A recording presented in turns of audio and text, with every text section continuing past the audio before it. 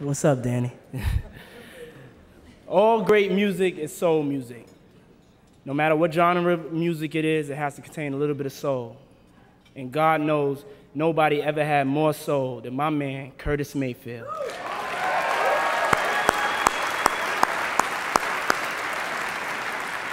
To paraphrase that great old impression song, The Man's Got Soul, Curtis Mayfield has always been a divine artist in every sense of the word. He's a preacher, a teacher, a poet, a founding funk pioneer. From his early days in Chicago, he brought a sense of religious purity to his music, whether he was creating his songs for the church or his songs for the streets. Curtis realized there was no difference Curtis Mayfield wrote songs connected with sinners and saints and other people that had to get ready. Whether they were songs of hope or songs of despair, he wrote about the human experience with amazing grace and remarkable honesty. His music has always communicated a sense of the holy and the sting of the truth. Growing up, it was hard to imagine some of these creations were actually written by a man. They sounded timeless, God given. And I believe they were.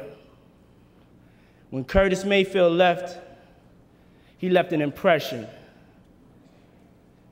One of giant vocal soul, one of the, one of the, oh, I'm sorry, I'm a little nervous. I meant to say, when he left the impressions, they were one of the giant vocal soul groups of all time. He headed on his way in 1970, and he bravely showed us amazing new sides of that beautiful soul of his. And all the realities of American life changed. Mayfield's music reflected those changes in ways that were both frightening and gorgeous and funky as hell. You can hear it on such killer tracks as Freddie's Dead, Superfly, Pusher Man. And don't worry, if there's a hell below, we're all gonna go.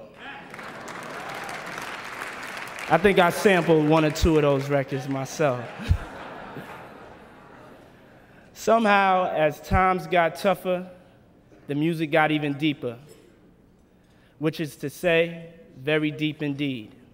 Since then, Curtis Mayfield has proven himself to be unstoppable in ways which are simply beyond description. His 1996 New World Order album was much more than a comeback.